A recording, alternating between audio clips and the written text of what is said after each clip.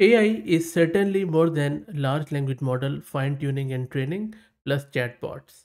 Look at this tool, Flux.ai, which is targeting a niche where it is helping you to build printed circuit boards or PCBs with the help of copilots. There are a lot of use cases you can think immediately on your toes when you look at this tool. And this is one of the reasons I believe that AI is not a fad. It is going to stay here.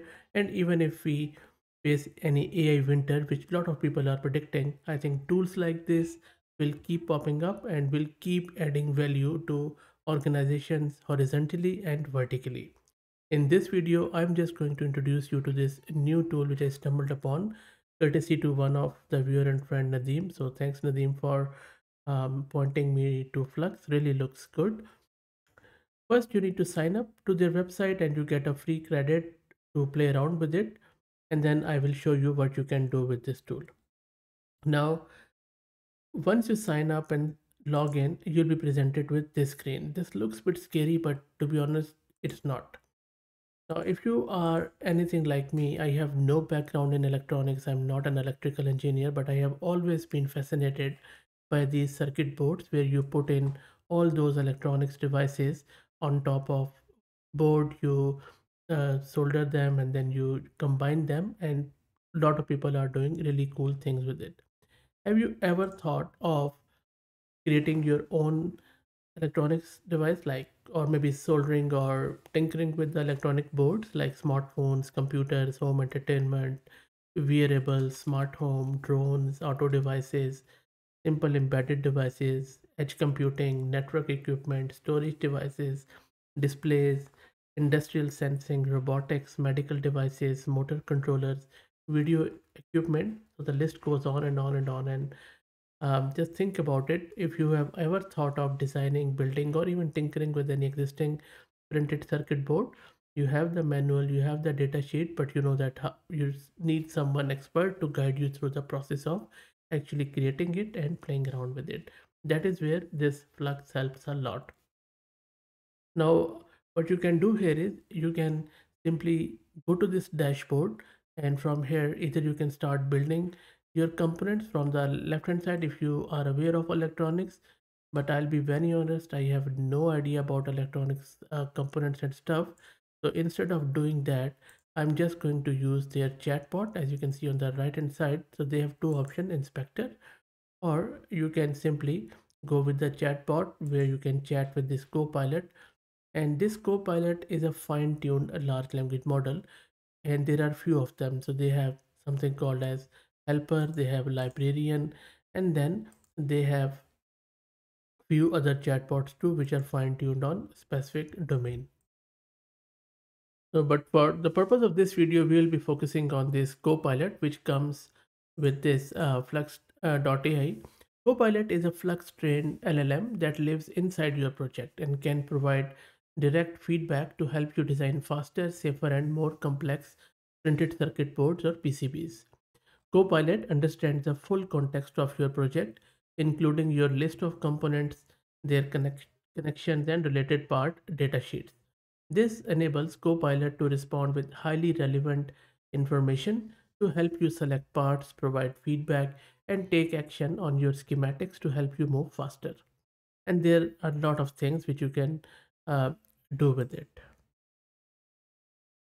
So here on the right hand side, you can see that there is a co-pilot. They have also given me some of the examples. So let me ask it a question. Let me paste it here. So I'm asking it, I'm creating a PCB for a digital alarm clock that displays time and sounds alarm. Can you assist me with identifying necessary components for this project? And let me press um, enter here. Let's wait. So there is no response there. I think the reason is because we need to tag it like this. So pilot and you see that when I'm typing copilot, we can go with generalist, helper or librarian. So, but I'm just going to go with the generalist one, the first one. Now let's press. There you go. Now copilot is thinking. Let's wait for it to come back. It Shouldn't take too long.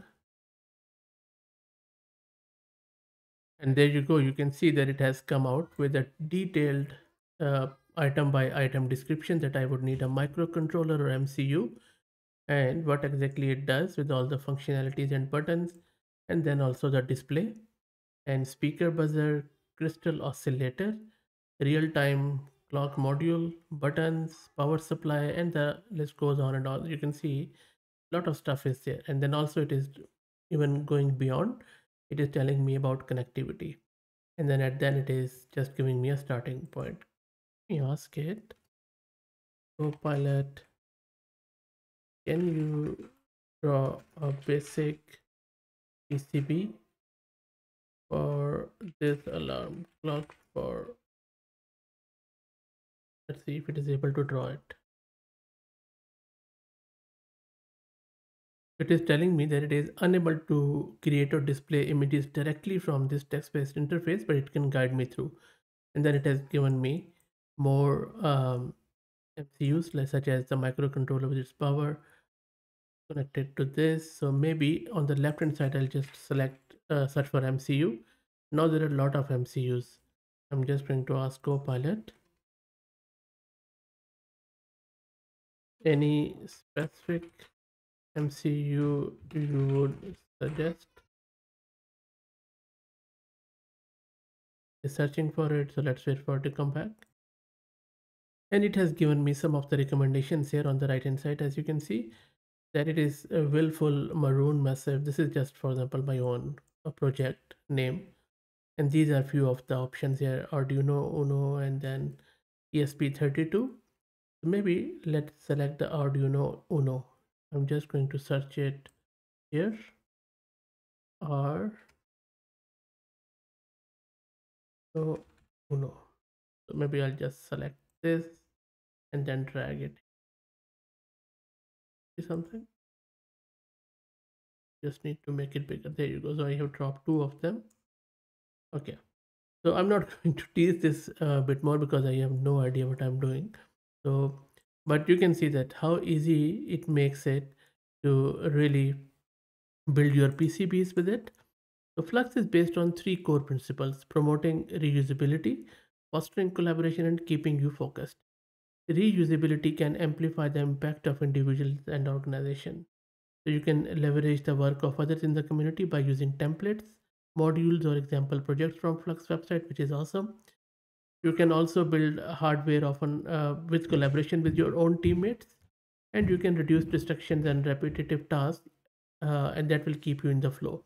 And that always brings out better results. So all in all, I think uh, an awesome tool for any PCBs. But more than that, uh, for me, I think this is simply um, a reason to stick with AI because you need to target these niches and then add value wherever you can find. You don't have to go all in with all guns blazing to start tackling every issue there. And AI is not just about you know the general chatbot. Anyway, I will drop the link to this website in video's description. Play around with it. Let me know how you go. If you like the content, please consider subscribing to the channel. And if you're already subscribed, then please share it among your network as it helps a lot. Thanks for watching.